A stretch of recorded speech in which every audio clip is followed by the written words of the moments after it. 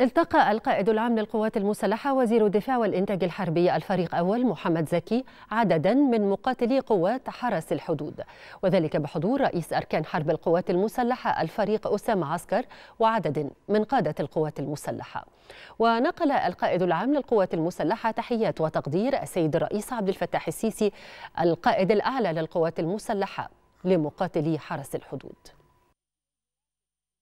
التقى الفريق أول محمد زكي القائد العام للقوات المسلحة وزير الدفاع والإنتاج الحربي عددا من مقاتلي قوات حرس الحدود والذي يأتي في إطار اللقاءات التي تقوم بها القيادة العامة للقوات المسلحة. للتواصل مع المقاتلين وتوحيد المفاهيم تجاه مختلف الموضوعات التي ترتبط بالقوات المسلحة على كافة المستويات. وذلك بحضور الفريق أسامة عسكر رئيس أركان حرب القوات المسلحة وعدد من قادة القوات المسلحة.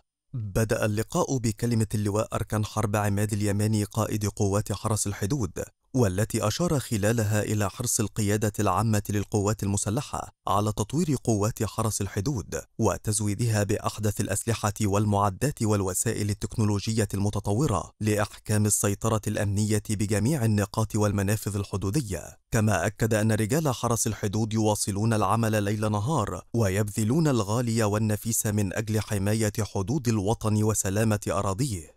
أعقبها عرض فيلم تسجيلي تناول أبرز جهود قوات حرس الحدود والنجاحات التي حققتها خلال الفترة الماضية عبر مختلف الحدود والاتجاهات الاستراتيجية للدولة المصرية. ونقل القائد العام للقوات المسلحة تحيات وتقدير الرئيس عبد الفتاح السيسي رئيس الجمهورية القائد الأعلى للقوات المسلحة لمقاتلي حرس الحدود. كما أشاد بالجهد الذي يبذله رجال حرس الحدود في التصدي بكل إصرار وعزيمة للمهربين والمتسللين والمخربين والعناصر الإجرامية التي تستهدف المساس بالأمن القومي المصري عبر الحدود.